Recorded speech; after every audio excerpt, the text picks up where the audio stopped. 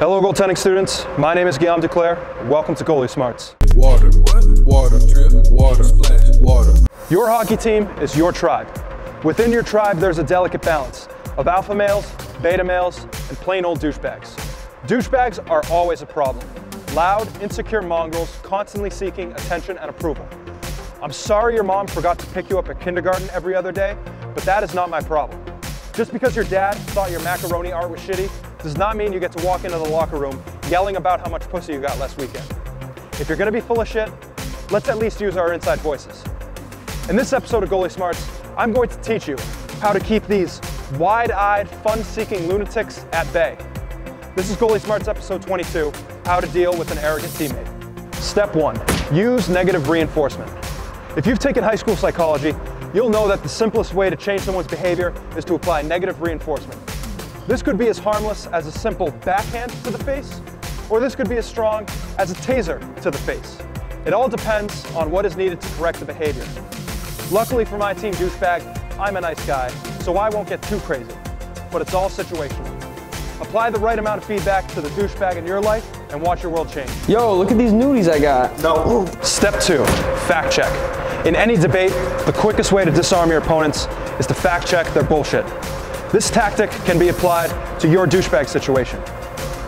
When he's talking, remember his claims in detail, and when you go home, research their validity. 99% of the time, he's full of shit. Yo, I was hanging out with that girl with squirts last night. Uh, are you talking about Ashley?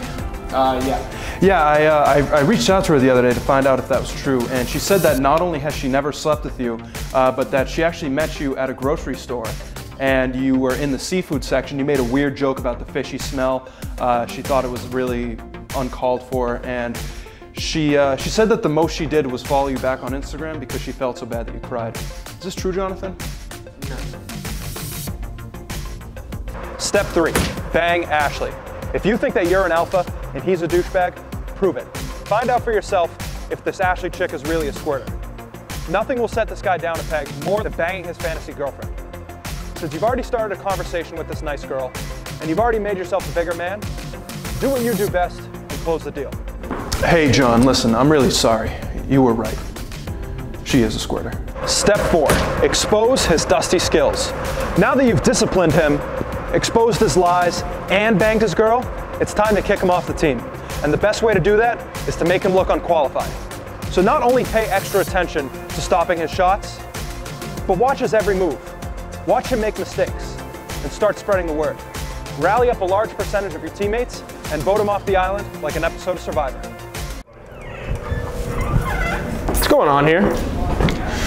Listen, man, this just isn't working out for us.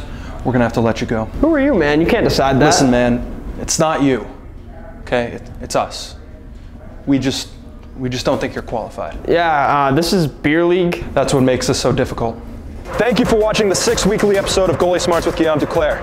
This episode was suggested by Sonny Milano. If you have a suggestion for next week's episode, leave it in the comments below. Let's go, people. I'm trying to run a business here. Buy some sweatshirts too. See you next week, bitches. I'm out.